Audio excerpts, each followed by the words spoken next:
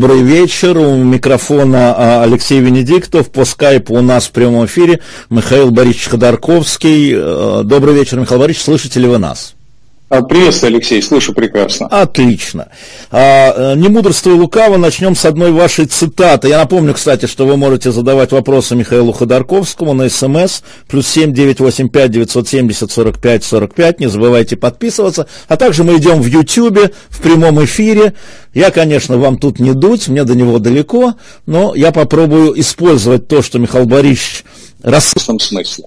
Вот. Но э, боевые действия с властями у нас идут постоянно, и ближайшие, я думаю, что э, предстоят э, поздней осенью, поскольку я убежден, что Алексея э, Навального, вашего тезку, естественно, никто э, не зарегистрирует.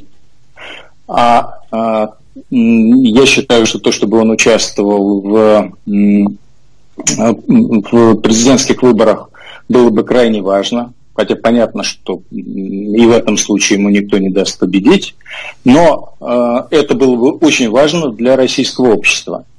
И российскому обществу, я подозреваю, предстоит очень серьезное противостояние, а значит будет э, много людей, которые окажутся э, за решеткой. Нет, вы объясняете, что вы имеете в виду. так далее. Михаил Борисович, вы говорите противостояние, боевые действия. Так, вот Серьезно, оно и будет так, опишите это, а в чем противостояние? Ну, не допустили вы или допустили? Вы уже наблюдали это, по крайней мере, дважды э, весной. Я думаю, что осенью вы будете наблюдать что-нибудь подобное из своего окна, а я, соответственно, в э, трансляции.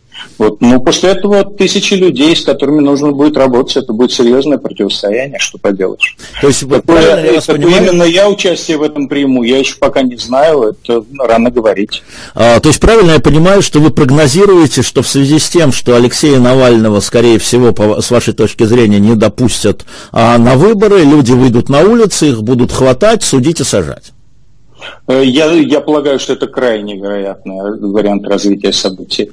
И, как вы помните, «Открытая Россия» еще на своей конференции в весной сказала, что она поддерживает идею регистрации, и всех кандидатов, и в том числе Алексея, и, соответственно, а если эта регистрация не произойдет, то предстоит, естественно, противостояние российского гражданского общества и власти. А ваша роль в этом противостоянии лично ваша? Я вам, я вам еще раз сказ, э, могу повторить только то, что я сказал, что сегодня этого противостояния еще нет, оно прогнозируется, и прогнозировать в рамках прогноза, ну вы от меня слишком многое хотите. Я хочу знать вашу роль. Э, в предыдущих э, массовых действиях ваши товарищи помогали юридически. Да? И по, это, по я понимаю. Мере, я вам сказал, что, по крайней мере, юридически мы помогать будем несомненно. Какая еще будет роль, я пока сказать не могу. Боевые а, дружины? Правовая поддержка будет неизбежна. Боевые Значит, дружины? Ну, слушайте, Силовые если отряды? Бы, если бы речь была про боевые дружины, я бы сказал бы, что не в переносном смысле, а в прямом. Пока, к счастью, до этого еще крайне-крайне далеко. Считаете ли вы, что в связи с последними событиями, пока мы поговорим а, чуть-чуть о событиях 2017 а, года, которые уже прошли, потом перейдем дальше, считаете ли вы, что а, происходит эскалация или на самом деле некое выжидание? А, сейчас пока идет, я не скажу, что это не эскалация, не выжидание. Путин начал свою избирательную кампанию. Мы это все наблюдаем.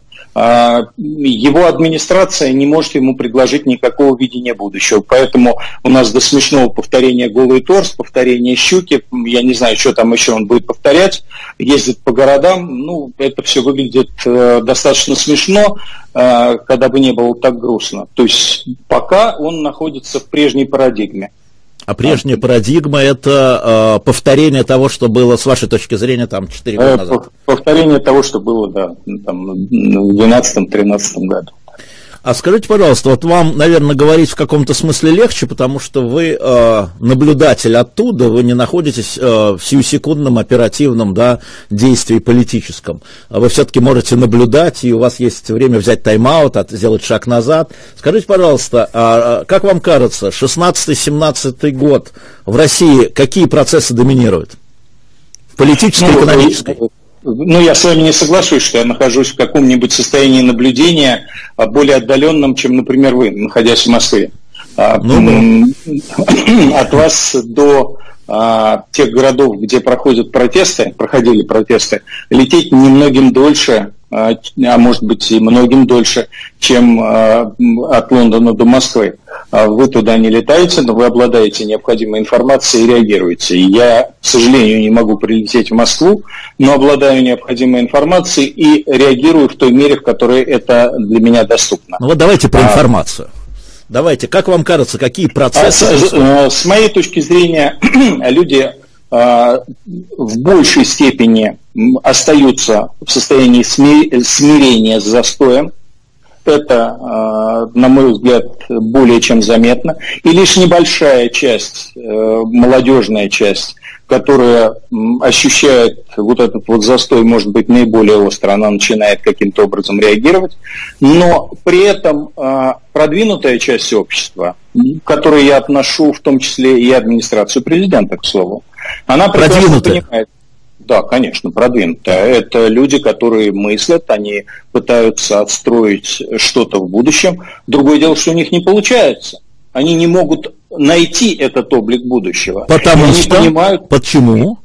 Они же продвинутые. Они не могут продвинутые люди, которые не имеют возможности принять соответствующие решения, работают с тем материалом, я в данном случае про Владимира Владимировича, который у них есть. С этим материалом будущего не построишь. Так. А протяну, протянуть еще 6 лет на прошлом я считаю, что эти люди уже начинают беспокоиться, а возможно ли протянуть э, эти шесть лет на прошлом. Я считаю, что можно протянуть, но тогда к концу этого шестилетнего периода, к 2024 году, мы подойдем в э, том состоянии, что, так сказать, ну, может быть, не со мной, с Удальцовым, вы всерьез будете говорить про э, боевые дружины. Понятно. А ну, я так понимаю, что Сергей Удальцов, которого вы, кстати, поздравили, как я видел в Твиттере, во всяком случае, с выходом на свободу, а, я так понимаю, что он решил поддержать Владимира Путина а, в следующем электоральном цикле. И, и в этой связи у меня вопрос не про Сергея, у меня вопрос. Все-таки в России левый поворот? Все-таки Россия левая страна? Все-таки в России левая программа победит? А, Россия, несомненно, страна левая. Э, Россия, несомненно, э, страна э, более чем социальная. Угу. И если и когда в России будут проведены, точнее не если, а когда да. в России будут проведены честные выборы, то, конечно, представлять российское общество в том новом парламенте будут люди э, более левые, чем мы с вами, Алексей. Э, с этим надо смириться, к этому надо приготовиться, это надо понимать, что это так будет. Так может быть, Владимир Владимирович, как многие говорят, э, в той самой замечательной администрации, где работают ваши хорошо знакомые, в частности Сергей Кириенко, а может быть, Владимир Владимирович в этом смысле наименьшее зло? Потому что, если честные выборы, левые, нацики, и мы знаем, да, что есть такие настроения серьезные. А, может быть, Владимир Владимирович, он, э, как это сказать, такой модератор, такой вот а, при всех минусах. А, к глубокому сожалению, это модератор остановки. Вот мы на 18 лет остановились, ну, Может, хорошо, Михаил Борисович. Давай, давайте не на 18 лет. Слушайте, страна разви... страны вокруг развиваются. Я прекрасно помню, как в 2001 году я ездил в Китай, и китайцы мне пытались впихнуть э, своих рабочих, так сказать, э, потому что говорили, что эти рабочие чуть ли не в три раза меньше зарабатывают, угу. чем у нас на нефтепромыслах. На сегодняшний день мы знаем, что средний заработок по Китаю выше, чем российский. Ну, куда там дальше э, отставать? Если мы сейчас зарегулируем интернет, а мы все зарегулируем, идет, зарегулируем, вы даже не да, а, мы, а, все, а все туда идет, то одна из последних, э, вот этих вот, один из последних этих элементов, который нас преимущественно отделяет от стран третьего мира, это вот наши способности, наши таланты в области э, связи в, в области компьютерных технологий и тому подобное, вот мы и там окажемся э, в глубокой заднице. Вот э, за ближайшие шесть лет это вполне может произойти. А вы считаете, ну, что левые или нацисты нас выведут из этой задницы? Слушайте, ну зачем Я называть, ну зачем называть людей нацистами? Ну, есть нацисты. Э, на, слушайте, есть нацисты, есть фашисты, их э, в стране маргинальное количество. Вы посмотрите, вы что, вот этих вот ряженых за 50 долларов, которые на улице вылазят, вы их называете реальными силами, вы от них ожидаете каких-то проблем. Ну, наплевать на них и забыть. Они подкармливаются с той же руки администрации президента. Ну, о чем мы говорим? Так сказать, нас пугают а, давно завшивившим пугалом. Нету его. Так, хорошо. А левый это прогресс рядом с Путиным? Рядом с Путиным а приход левых это прогресс? Я спокойно отношусь левым. А, у нас страна с точки зрения а, сегодня вот и налоговой системы, и социальной защиты, и взаимоотношений к обществу гораздо менее социально ориентированная, чем я вижу на Западе. Mm-hmm. И это означает, что как далеко бы левые не продвинулись в рамках демократической системы за там одну-две каденции, Угу. это не будет в этом ничего страшного. Вот мне спасибо, Василий Иванович, который вот. через Твиттер посылает мне. Ходорковский ведь сидел вместе с Квачком. Вы о нем думаете? Думаете ли вы о националистах будущего? Может, это на вас повлияла такая дружба с Квачком? Послушайте, ну, ну не смешите. Ну, что не смешите? Вопрос. Владимирович, как Владимир Владимирович говорит, не смешите мои Искандеры, да? Да, а, да, да, да, у вас много Квачков, да. да, Квачков маргинал. Квачков так. маргинал, так сказать, э, интересный человек, именно интересен своим, э, своей маргинальной позицией, так же, как Лимонов маргинал. Э, таких людей в стране не так много. Незачем нас ими пугать. Ну, незачем. Ну, для того, чтобы эти люди вели себя в рамках приличия, существуют э, спецслужбы, которым за это именно платят деньги, чтобы они не давали возможность людям э, заниматься, э, ну, переходить от слов к вооруженным вещам. Они, то есть за этими пределами этих людей единицы. Этих людей единицы. Ну, при честных выборах мы не знаем, сколько они получат с этими идеями, с этими идеями а, православия. да? Мы с вами видим за прошедшие а, 5-10 лет. Ну, не смогли они набрать никакой поддержки. Ну, не смогли. Но вот кроме ряженых мы никого не видим. А, Михаил Борисович, сделаю такой а, пируэт в связи с, поскольку мы вдруг выскочили на эту тему, пируэт по поводу а, дебатов Алексея Навального и Игоря Стрелкова. Вы, вы наверняка смотрели, у меня два вопроса. Первый, как вы вообще относитесь к дебатам подобного рода, и второй, какой вы вывод сделали, если что-то сделали из этих дебатов? А, слушайте, я спокойно отношусь к э, всякого рода дебатам. Я считаю, так. больше дебат, э, так сказать, хороших и разных. Э, Хорошо. Вступают люди, разговаривают. Не надо придавать такого значения вот подобного рода разговорам. Да, мне не нравится, что Стрелков, который признался в том, что он является и по российскому закону, и по международному закону а, преступником, а, что он популяризируется. Так. Ну, мне это не нравится. Но это не значит, что то, что мне не нравится, должно быть запрещено. Если бы мы сейчас говорили о том, что с ним говорит реальный человек, который реально вот в эту каденцию, так сказать, может стать президентом, ну, наверное, я бы напрягся. Угу. То есть или в стране такая ситуация, что нацики, вот как э, нас попугивают, угу. действительно где-то так далеко, высоко, что а, реально кандидат в президенты э, должен с ними разговаривать, находить общий язык. А, либо я счел бы, что этот человек с, ним, э, с ними слишком а, близок ну, по духу, что он с ними вот так вот разговаривает. Ну, на самом деле и то неправильно, и это неправильно. Все неправильно. А, да, Алексей пытается продвинуть себя в рамках этой избирательной кампании. Делает это прекрасно. Так сказать, ему для этого он использовал повод. О нем говорят. Ну, замечательно. Поговорили два человека. Вывод я для себя сделал очевидный. Э, Стрелков и Стрелкову подобные э, представляют для себя опасность для общества только в той мере, в которой им дадут возможность спецслужбы брать в руки оружие. Только силовые. Помогут. Только силовые. Помогут, реально. Да, вот в этом тогда они будут, возможно, опасны. А так, Бог с ним, понятно. пугало на этом, в огороде. А, в этой связи вы бы не сели с ним разговаривать, с пугалом в огороде. Ну, знаете, я бы не сел разговаривать просто потому, что я не нахожусь в этой позиции. Мне э, нет необходимости разговаривать с теми людьми, которые мне неприятны. О, как интересно. А, Михаил Ходорковский в прямом эфире «Эхо Москвы». Вот счастливый человек перед нами, человек, который может разговаривать только с людьми, которые ему приятны. Давайте э, будем ему неприятны. Ну, или интересно. А, интересно. Ну, или интересно. Хорошо, или интересно, хорошо. Михаил Борисович, возвращаясь к своему вопросу, тренды в российской э, политике, экономике, в международке. Давайте все-таки разберем. Как вы считаете, в российской политике, или то, что называется эрзац-политикой, да, в политическом смысле, э, мы движемся куда? К глубокому сожалению, мы не знаем, куда мы движемся. Подождите, нас... это значит ли это, что вы допускаете, что Владимир Владимирович может сделать пируэт на левой ноге и на своем четвертом сроке оказаться как на первом, э, демократ... ну не демократическим, таким прозападным, реформистским, э, поменявшим направление и вектор, что мы не знаем куда. Объясните. А, мне бы хотелось в это верить.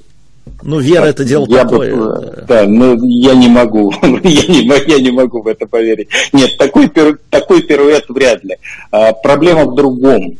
А, мы видим с вами, что Владимир Владимирович чем дальше, тем больше м, управляется, манипулируется его окружением. Вы это видите? А, а, да, конечно. Ну, посмотрите, сейчас на всю страну гремит Башнефть. Так. Мы с вами прекрасно помним, какую позицию Путин занимал по Башнефти в начале. Она была, в общем, экономически обоснована, что ни хрена из одного государственного кармана перекладывать бабки в другой государственный карман, когда можно получить живые деньги с рынка. Ну, всем это было понятно. Страна не такая богатая. Игорь Иванович Сечин сказал, нет, не пройдете, угу. это будет мое. Смотрим, его его Шельма ну, справился. Что-то у вас личное с Игорем Ивановичем. а, я даже не знаю, я даже не знаю, что, но ну, я он, знаю, люби, что. он мой любимый пример. Да, я понимаю. То есть, иными словами, э, с точки зрения политики, да, вы считаете, что президент Российской Федерации стал менее самостоятельной фигурой? А, стал менее самостоятельной, и поэтому действительно мы не, не можем до конца понимать, что нас ожидает в ближайшие шесть лет, потому что Путин-то все тот же, а вот кто к уху доберется, угу. здесь, конечно, есть некий вопрос. Вы уверены, что он будет кандидатом?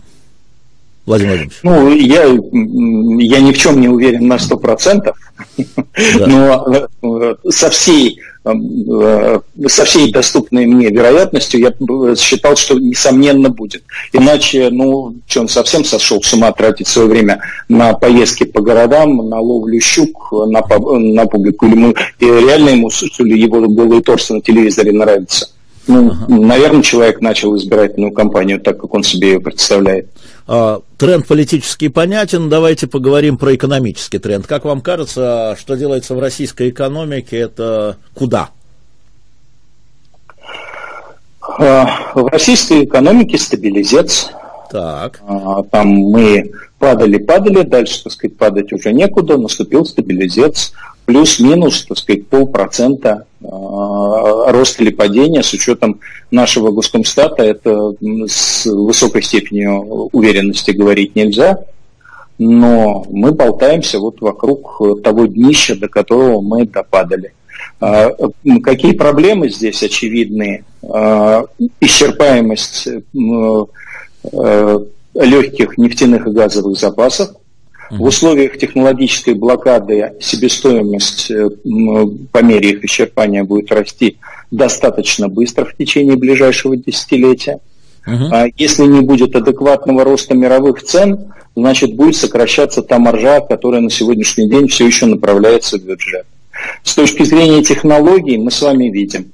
И при отсутствии э, технологических санкций у нас все было не слава богу. Помните советский анекдот? Mm-hmm. Советские микросхемы имеют э, четыре ножки и две ручки для переноски. Ну, сказать, немного изменилось, к сожалению. А, а в условиях технологической блокады я большой пессимист э, в отношении того, что сегодняшние дети, сегодняшние студенты, сегодняшние выпускники технологических вузов смогут найти внутри страны высокооплачиваемые рабочие места именно в сфере своей деятельности. Потому что? Так что а, потому что этих технологий внутри страны нет. Потому что если ты хочешь заниматься современной наукой, современными технологиями, тебе надо э, уезжать за границу. В этом проблема. Это а... проблема для страны реальная. Мы пока делаем диагноз, потом будем говорить, как это все лечить. И последний вопрос в этой части – наше внешнее окружение. Наши друзья и наши враги, которые помогают или мешают нам жить. Вы санкции поддерживаете? Вот эти, которые сейчас путь, э, Трамп Слушай, подписал. Ну, я, конечно, не могу э, поддерживать санкции, в результате которых э, стране э, заметно хуже. Да, я понимаю их неизбежность, потому что мы все сделали для того, чтобы э, нас в конце концов э, хотел грубое слово сказать. Ну, скажите, ну, прямой эфир. Поимели. Так.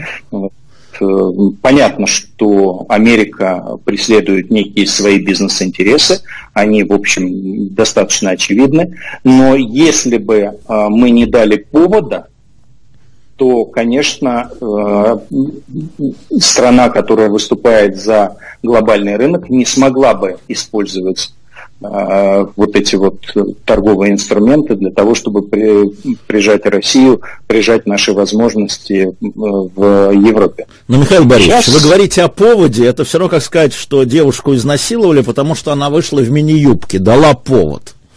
Ну, это же не серьезно. А... Дала Знаете, повод. Или это насильник, или она дала повод. Значит, э, понимаете, девушка, которая вышла в мини-юбке, это один разговор. А девушка, которая а, взяла деньги э, за сексуальные услуги, и потом всему миру говорит, ну я, конечно, не брала за сексуальные услуги в рамках американских президентских выборов, но вы же понимаете, что я, конечно, эти сексуальные услуги способна оказывать. Это немножко другой разговор. Это немножко другой разговор. И, к сожалению, нам сейчас э, предстоит получать за эти оказанные или не оказанные сексуальные услуги по полной мере.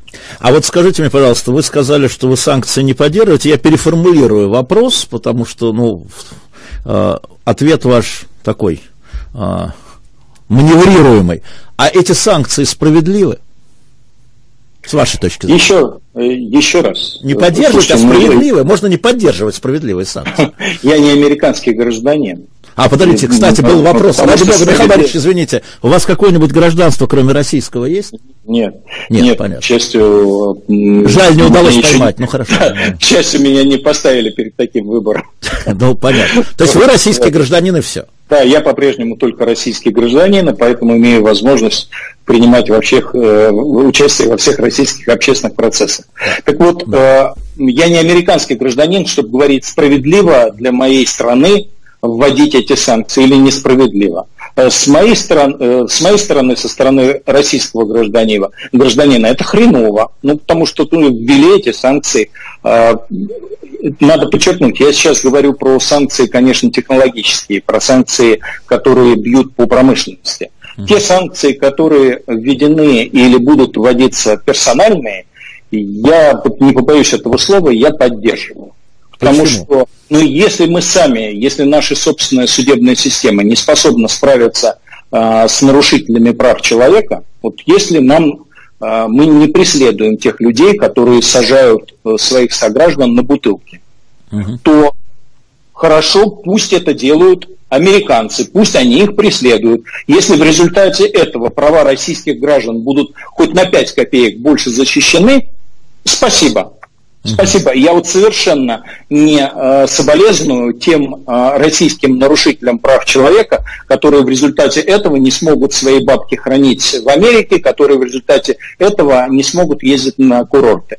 Ну, нравится им нарушать права человека, не нравится нести за это ответственность. Ну, сидите в той в которую вы э, нас всех засовываете. Подождите, подождите, мы тоже сидим в ней. Вы нас туда вместе за всех засовываете, все 146 миллионов. да, глубокому сожалению, так сказать, там сидит 146 или 142 сколько, да. Ну. миллиона, а, но эти-то оттуда хотят выбраться в индивидуальном порядке. Вот. И, и при этом, и при этом остальных-то заталкивая поглубже. А ведь э, американцы в этой части, вот если мы говорим про персональные санкции, они же их вводят не против 142 э, или 146 миллионов, они их вводят против тех людей, которые сильным образом нарушают права человека и не преследуются за это в Российской Федерации. Там же очень конкретные ограничения.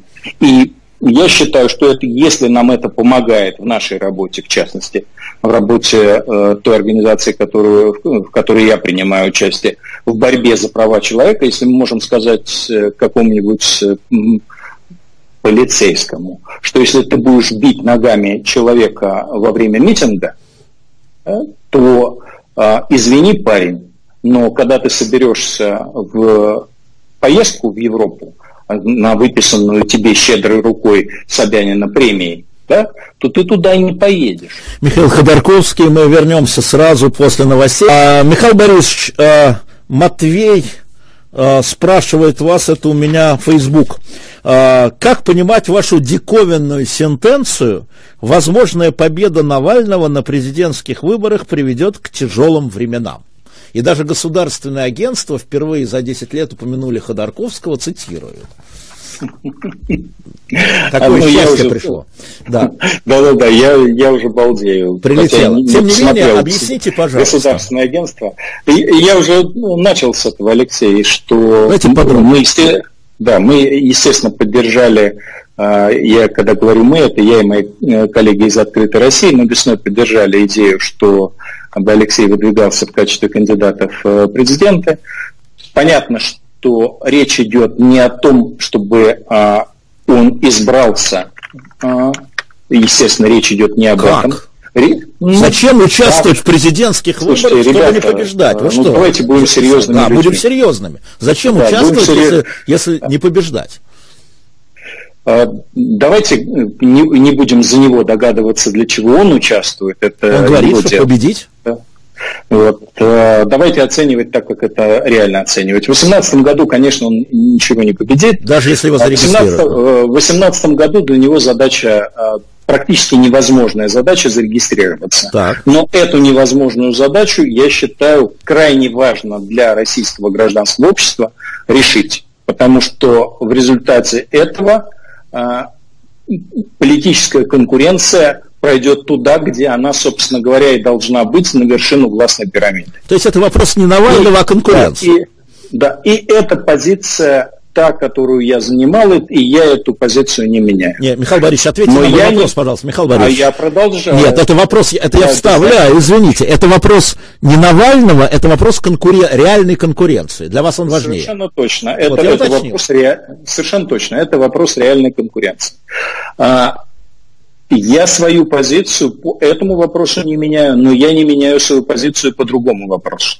Я четко сформулировал еще э, в 2001 году, а потом... Кто помнит-то, господи, очнитесь. Ну, Повторите. Слушайте, вы-то помните? Нет.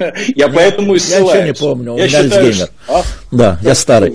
Рассказывайте, в чем ваша а. позиция по поводу возможной а, победы Навального например, или Навального президента?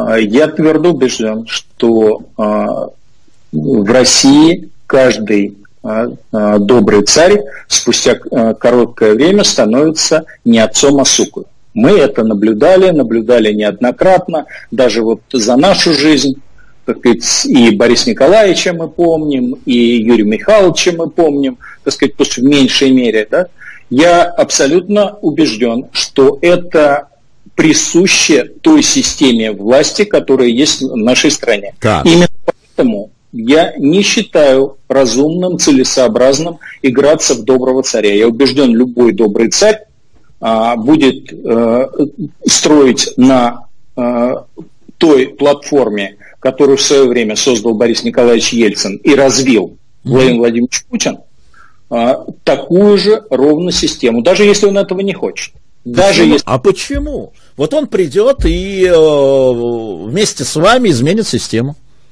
Вы в это не допускаете? Мне крайне сложно поверить с учетом моего опыта, что человек, которого не будет толкать к этой ситуации а, его собственные интересы текущие, а, будет это делать. Тем более, непонятно совсем, что такое толкать собственные интересы текущие. Вот представить себе, что... Человек, человек, приш... человек пришел к власти, он хочет много чего изменить. Да. У него в руках есть полная власть. Да. Теперь ему говорят, парень, выбери, пожалуйста, либо ты, пользуясь этой властью, начинаешь менять, а менять в стране много чего надо, так. либо ты отказываешься от этой власти полностью или частично, передавая ее парламенту, где угу. сидят разные непонятные удальцовы, с угу. которыми, а, так сказать, непонятно еще как придется договариваться. Удальцовы и Володины, напомню. Да, Удальцовы и Володины. Да. Так вот, мое убеждение, что глубокая ошибка использовать созданную, вот, эти, э, вот эту вот созданную Ельцином в 93 году монополию э, на власть э, для того, чтобы попытаться демонтировать самодержавие. Вот так вот не получится. А поскольку система, системы в стране уже подразрушены Путиным, и за предстоящие 6 лет будут разрушены, разрушены еще в большей мере, ну, страна стоит на месте, а весь мир куда-то двигается, так. то а, на этих развалинах хорошо жить уже не получится, даже нормально жить уже не получится. Когда 4 года зарплата не растет, а падает, это печально, но люди еще терпят. Когда 10 лет зарплата не растет, а падает, ну я не знаю, кто будет это дальше. Причем тут президент Навальный падает зарплата? Поэтому, поэтому попытка построить эту систему заново, да, так. это э, штука ошибочная. Я считаю, что в стране а, единственная нормальная смена власти, которая может быть, после чего страна начнет развиваться, это переход к парламентской, ну или там на промежуточном этапе президентско-парламентской республики. Ну мы спросим Поэтому, Алексея когда... Анатольевича, готов ли он на такой переход, но нам показалось всем. Поэтому, почти... когда, да. меня, поэтому когда мне задали вопрос, да. а что будет, когда на место Путина придет Навальный. другой человек, неважно здесь Навальный, не Навальный, не принципиально. Я говорю, если на место Путина придет другой человек, запасайтесь. Хорошо не будет. Подождите, а если Путин останется, все равно запасайтесь? А если Путин останется, тем более запасайтесь, потому что он еще к тому же и старый. Я, э, тех, кто читал не «Медузу», а реально, как вы послушали мое интервью полностью, вы э, заметили, что я там сказал, что любая смена власти э, все равно хорошо потому что вначале воруют меньше, вначале более либеральны, даже как ну, Путин и его команда. Это со временем потом накапливается все это дерьмо.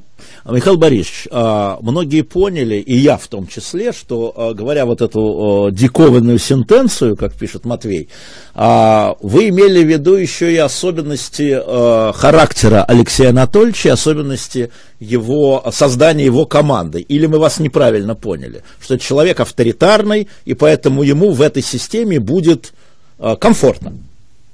Слушайте, я с Навальным лично не встречался. Мне... Здрасте вам, пожалуйста. Да, мне Нет, никогда. Я, я с ним только общался вот, вот по, по видеосвязи. Да.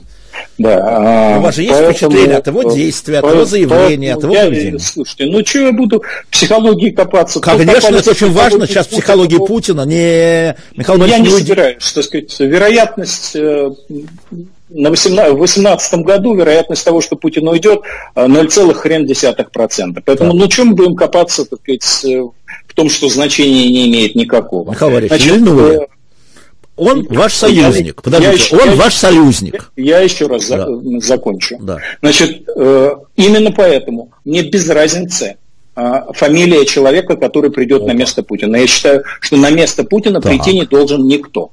Точка. А, в этом смысле? Да. Но так не бывает. Но вы прям как будто вы щуку поймали, а не Путин, и загадали желание. Ну, свято место, оно свято, пусто не бывает. Это будет либо ротация внутри правящей команды, либо по каким-то образом там возникнет другой я человек. С вами, я с вами категорически не согласен. Так. Я считаю, что единственная реальная смена власти, которая возможна в стране, Да. вот если реальная смена власти, Понимаем. то только смена а, нынешней системы на парламентскую, ну или крайний случай промежуточно президентско А парламентскую. как это вообще по щучьему велению? власти. Как она произойдет? По щучьему А, велению? Вариантов, вариантов достаточно много. Ну а как вообще смена Путина может произойти? То есть либо он сам себя поменяет. Дмитрий как это Анатольевич там, э, Бис само- какой-нибудь? Да, ну, Да. Дмитрий Анатольевич, он Бис- себя не поменял. Нет, нет, ну Да. какой-нибудь там, э, не знаю, Вячеслав Викторович, там Сергей Семенович, там, сейчас я всех Ну, общем, заваривать буду, да. там. Ли- ли- ли- либо Юрий он Петрович. сам себя поменяет, что, на мой взгляд, э, маловероятно. Так. Либо, э, если он под давлением гражданского общества и внешних обстоятельств, будет вынужден. Так. А если он будет себя менять, то моя точка зрения, что единственный э, наиболее безопасный путь, который можно придумать, это, конечно, не передавать свое место кому-то другому. Так. Это, конечно, разделить ту власть, которую он на сегодняшний день имеет, по крайней мере, по крайней мере разделить ее между а, правительством, а, парламентом и, если требуется, уж, э, так сказать, так необходимо, сохранить а, позицию президента, как там главнокомандующего и так далее. Мгм. Вот это ему и в некоторой степени, в меньшей, конечно, степени его окружению дает какие-то а, гарантии. На что гарантии на что? а, гарантии безопасности, гарантии сохранения какого-то влияния в стране, существенного влияния в стране. Потому что мы прекрасно знаем, что если будут проведены честные выборы, то э, Путин и его, так сказать, команда э, с высокой степенью вероятности наберут порядка 30%, 30-40%. Ну, э, относительное большинство, скажем так, да? Да, как минимум. это как это минимум. суще- существенный- существенная часть парламента, и это, в общем, серьезные гарантии а, безопасности. Я считаю, что если он реально захочет уходить, то безопасный путь для него именно переход к парламентской или президентской парламентской республике. Я это говорил еще в 2001 году, мы это обсуждали а, с господином Морозовым, он по-прежнему во власти, но теперь он, так сказать, э, боится вспоминать об этом событии в э, нашей истории. Э, Тогда мы думали, что Путин все-таки будет уходить своевременно, через два президентских срока, и говорили о том, что хороший для него вариант – это а, возвращение в большей или меньшей степени Конституции 93 года. А, Лично для него это хороший вариант. Михаил Борисович, а как кто последний раз вам говорил, что вы наивный? А, Мне бесконечно это говорят. Помните? Так. Будьте реалистами, требуйте невозможного. Невозможного, да. да. Это моя позиция. да. Так, понимаю. В этой связи 18 год, давайте посмотрим. Вот э, Алексей Навальный, опять же, уже в эфире «Эхо» э, говорил о том, что э, когда он встречается и едет по штабам, ему не задают вопросы э, ни про Яблоко, ни про Парнас, ни про Ходорковского. Его, вот эти его штабисты молодые, да, мы их видим на фотографиях, видео, они, их интересует совсем другое. Их интересует федеральная повестка дня как коррупция, а их интересуют их местные проблемы. Вы в это верите? Я вполне допускаю, что э, ребята в регионах настолько продвинуты, ш- ну, вот, которые собрались в качестве волонтеров, а, для того, чтобы всерьез интересоваться федеральной повесткой и тому подобное. Э, Поскольку ну, мои коллеги, которые вот э, собрались в открытой России, они во многих регионах, собственно, и составляют э, в большей или меньшей степени ш- эти штабы, Так. а, То есть вы внедряете своих людей к Навальному? Ну, причем здесь внедряю? Ну, вопрос- регионе Я спросил?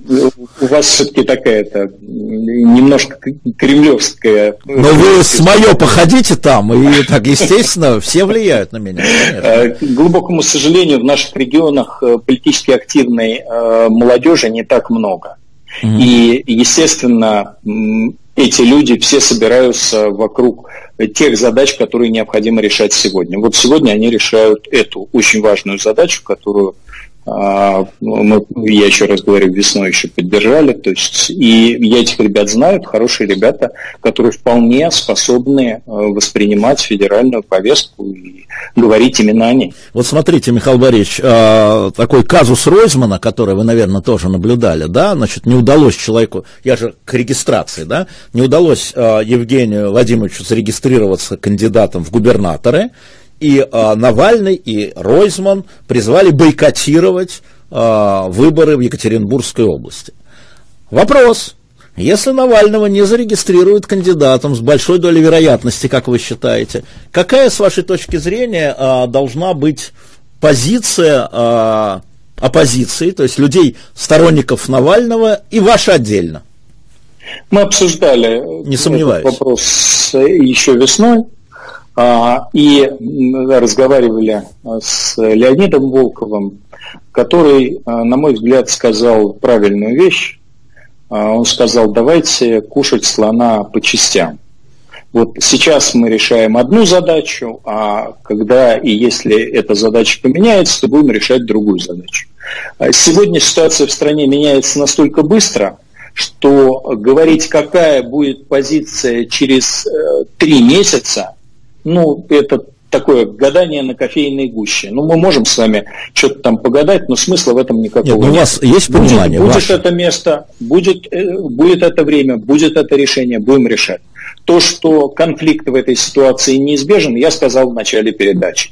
То, что в рамках этого конфликта с высокой степенью вероятности сотни и тысячи людей будут арестованы, этим людям нужна будет правовая поддержка – практически стопроцентную вероятность. Значит, будем ли мы этим заниматься? Этим мы будем заниматься да, без это вы сказали, но ведь вопрос в другом, что может возникнуть другой кандидат оппозиционный, то есть не может быть возникнуть, он уже возник, и зовут его Григорий Алексеевич Явлинский, который будет пытаться зарегистрироваться. Или возникнет другой кандидат а, из этого набора, какой-нибудь там из Парнаса или еще кто-нибудь, или внепартийный ну, кандидат. Еще раз, ну что мы будем К этому готовиться? Михаил Борисович, вы лукавите. Я вас знаю как человека систем, вы давно готовы к тому, что Навального не зарегистрируют. У вас уже сложилась позиция, и точно у вас уже сложилась структура. Поэтому я хотел бы понять, какие варианты. Я, я еще раз вам повторю, вот вы в данном случае пытаетесь спросить, а что будет, когда сложатся вот такие вот обстоятельства? Так вы сказали, что Навального да, не зарегистрируют, скорее я, всего. Я, я не я знаю, вашей логике. Потому что кроме того, что Навального не зарегистрируют, так. а, после слов э, Панфиловой это там 98%. Согласились. Да, то а, Кроме этого, еще будет 101 обстоятельство. Будут да. люди э, огорчены этим ситуацией угу. э, настолько, чтобы выйти на улицу, или не будут огорчены они настолько? Будет ли экономическая ситуация в стране такая, что людям уже достало и обрыдло, или не будет такая экономическая ситуация? Будет, будут левые в лице Удальцова 10 раз там или еще других Удальцовых, и еще там э, три раза поменявшие свою позицию позицию к тому моменту, как на самом деле и все политики, а, призывать людей к забастовкам и прочему противостоянию? Или не будут они к этому призывать э, э, тех людей, которых, на которых они имеют влияние. Я всего этого не знаю. Что будет делать администрация президента? Будет ли там по-прежнему Кириенко, который не хочет силовых действий? Или к тому времени там будет не Кириенко, а так сказать, любимый мной Игорь Иванович Сечин, который так сказать, будет пытаться людей сажать там на 10 лет по обвинению в шпионаже на иностранные державы? Ну, не знаем мы этого ничего. Угу. Не знаем. Поэтому варианты есть, рассказывать их сейчас бессмысленно, потому что это гадание на кофейной гуще. Ну, это, конечно, не гадание, уже... и, конечно, это лукавство. Ну ладно, хотите лукавить, лукавьте. Э, ваше право. Слушайте, ваше право. Начал... Да. Алексей, когда да. вы э, задаете эти вопросы и говорите, что вы точно знаете, что человек знает на них ответ уже сегодня, и это лукавство, то это ваше лукавство, потому что вы таким образом пытаетесь э, представить людей Э, какими-то скрывающими реальную позицию. Ну, конечно. А на самом деле, а на самом деле, это ведь не так. У нас вот таких вот э, хитрых людей. А на сегодняшний день не так много, к сожалению, осталось. Все остальные, они там Украиной занимаются. да, про знаете. Украину хотел спросить. А все, а все остальные простые. Да, хотел вас спросить, э, Украина, э, это и э, украинцы, и россияне, это один народ? Это единый народ какой, ну, части народа, так же, как там, я знаю, волокжане или печане. Если бы вы меня спросили об этом а, э, три года назад, я бы вам без всякого сомнения сказал «да». Что изменилось? Сегодня э, между нами кровь. Силами э, этой власти между нами кровь. А то, что у нас десятки миллионов семей, и в том числе моя семья, разделены между Россией и Украиной – это, конечно, а, делает нас родственными народами, но на сегодняшний день мы уже не сможем в ближайшие десятилетия, а может быть с учетом сегодняшних темпов э, жизни уже никогда жить как прежде вместе. Ну, Михаил Борисович, у нас была, у нас была чеченская война, и между нами была кровь, между Москвой и Грозным. И а, десятки тысяч людей потеряли близких, и а, русские, бежавшие из Грозного, да, при Дудаеве. Да, мы с вами были свидетелями этого при нашей жизни. Живем в одном государстве. Живем а, в одном государстве, россияне. Мы, несомненно, живем в одном государстве, но э, Означает ли это, что та часть нашего государства, которая удерживается под контролем а, бандой а, Кадырова, а, ощущает себя именно частью России, я не знаю. Я хотел бы это узнать, но, видимо, без э, восстановления реального конституционного порядка в э, Чеченской Республике, узнать это не представляется возможным. Я же не про элиты, я, я про людей. Я про а жителей. Я а, я, а я тоже про людей. Я именно про людей. Я не, не, не знаю, на, на сегодняшний день люди в Чечне, вот сегодня уже, спустя а, еще 4 года после моего а, освобождения, ну там три с половиной, они ощущают себя э, частью России, или это им навязывает э, Кадыров для того, чтобы иметь возможность под прикрытием вот этой риторики э, грабить не только российский бюджет, но и российский бизнес, и чеченский бизнес в России, и тому подобное. Я не знаю. Последний вопрос, Михаил Борисович, у нас полторы минуты. А российская, будущая Россия, это федерация или унитарное государство? Это федерация такая же, как вот там Чечня, там Ленинградская область, там э, Дальний Восток. Без всякого, сом... без всякого сомнения, если у нашей страны э, будет эффективное будущее, будущее эффективного государства, то это будет будущее только в составе реальной федерации. Там, где а, есть сильный парламент, где собираются представители российских регионов, представители российских городов, которые по-разному развиваются, какой-то как Чечня, какой-то как Санкт-Петербург, какой-то как Кемерово, и вместе договариваются о том, как они будут вместе строить свою жизнь. Вот это реальный путь к развитию страны. Все остальное – это путь к стагнации и угасанию. То есть вам не представляется, что вот это сепаратизм – это угроза? Я не считаю, что э, наше э, географическое положение дает основание к сепаратизму серьезных частей Российской Федерации. А в Российская Федерация до сегодняшнего дня, несмотря на все попытки этой власти, по-прежнему европейско-центричная страна. У нас 120 миллионов из 140 с лишним живет по эту сторону Уральского хребта. У нас э, россияне, как бы они про себя не говорили, э, люди европейской культуры. Мы часть европейской культуры, и европейская культура – это мы. Спасибо большое. Это был Михаил Ходорковский. Надеюсь, мы еще с вами ближе к регистрации, не регистрации, дабы помериться лукавством. А, с вами встретимся в эфире и посмотрим, насколько а, я был прав.